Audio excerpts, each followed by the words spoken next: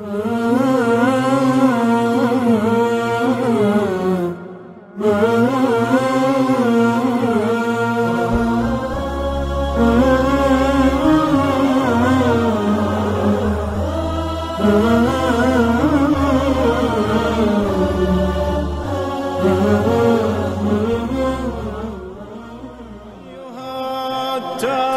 ini, kita akan berusaha merubah realitas sejarah Islam yang dipalsukan dan menghapus noktah dari kisah-kisah terlupakan dari para tokoh yang sangat layak untuk disebut sebagai para tokoh dalam sejarah kemanusiaan secara umum.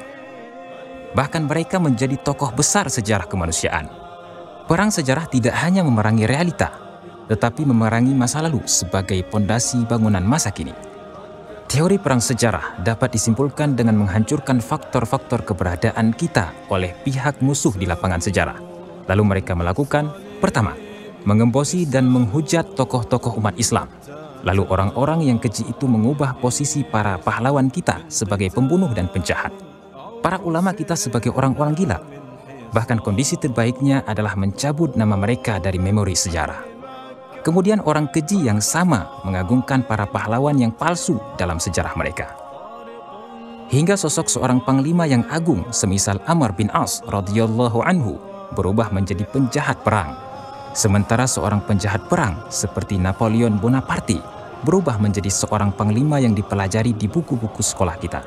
Sosok Abbas bin Farnas menjadi seorang penemu pesawat, seorang ilmuwan gila karena ia berusaha membuat pesawat sementara mereka mengagungkan sosok Akhwan Raid.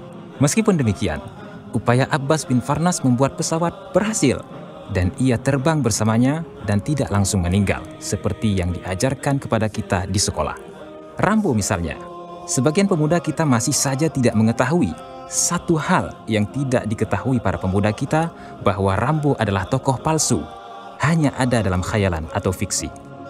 Industri film Amerika membuat tokoh Rambo setelah mereka kalah di Vietnam untuk mengangkat spirit juang.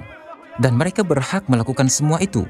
Bahkan ini yang mesti dilakukan setiap negara yang bermartabat. Namun, tokoh fiktif Rambo menjadi pahlawan bagi generasi muda Islam. Sementara pahlawan muslim sejati yang jauh lebih hebat dari Rambo sejarahnya tidak diketahui. Misalnya, Apakah Anda tahu kepahlawanan yang sangat luar biasa dari pahlawan semisal Muhammad bin Maslamah? Beliau adalah salah seorang sahabat mulia yang memiliki berbagai sikap kepahlawanan heroik yang akan kita sampaikan dalam rangkaian acara ini insya Allah. Contoh lain bagi para pemuda yang mengidolakan penyair komunis Che Jepara. Apa pendapatmu tentang pahlawan Islam sejati? Jepara mengakui bahwa ia sendiri belajar darinya.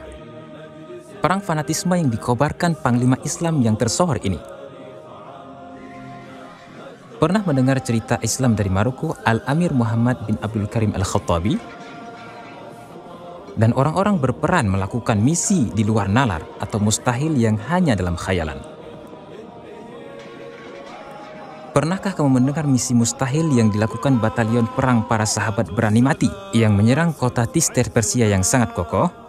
Yaitu dengan operasi mustahil yang mereka lakukan dari bawah tanah, dari bawah air sungai, dan dari parit-parit. Fakta yang harus kita akui bahwa kita tidak mengetahui sejarah kita sedikit pun dengan berbagai faktor. Di antaranya bahwa para penyerang sejarah melakukan pemalsuan dan mengaburkan sejarah Islam yang agung. Misalnya mereka memanipulasi pahlawan sejati yang sulit ditemukan tandingannya. Seperti sang pahlawan Ahmad bin Fadlan yang akan kita kemukakan kisahnya pada acara ini insya Allah. Pahlawan ini dihilangkan dari ingatan para pahlawan kita lalu digantikan dengan nama fiktif seperti Sinbad atau Aladin atau sampai Alibaba. Sehingga yang tersisa dalam sejarah emas kita hanyalah para panglima yang penjahat atau ulama yang gila atau pahlawan yang diragukan. Mereka tidak menjadi pahlawan kecuali dengan lentera sihir atau karpet yang terbang. Karenanya, jika Anda seorang muslim dan ingin menjadi pahlawan, tidak ada jalan bagimu selain berpetualang ke padang pasir yang tandus atau gua yang gelap gulita. Namun, hanya dengan menemukan lampu Aladin saja, kamu bisa menjadi pahlawan muslim dalam satu kondisi.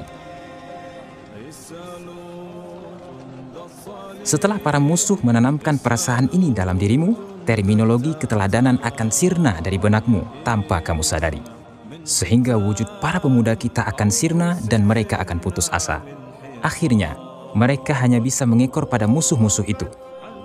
Ketika kita semua, saya dan kamu, akan runtuh seperti buah yang busuk. Tetapi waktu ini telah berlalu tanpa referensi. Kita akan kembali mengukir sejarah kita dengan tangan-tangan kita setelah kita menghapus deru-debu dari kisah para pahlawan agung kita yang mengubah laju sejarah di dalam Islam.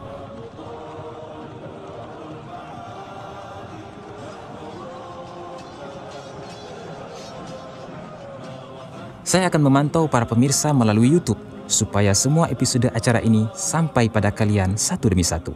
Saya juga akan banyak membaca berbagai usulan dan kabar gembira dari kalian semua setiap episode. Ikuti saya pada episode berikutnya, kita akan mulai mengenal kehebatan 100 tokoh ini disertai dengan kisah dari tokoh pertama. Pastikan Anda menyaksikannya. Wassalamualaikum warahmatullahi wabarakatuh.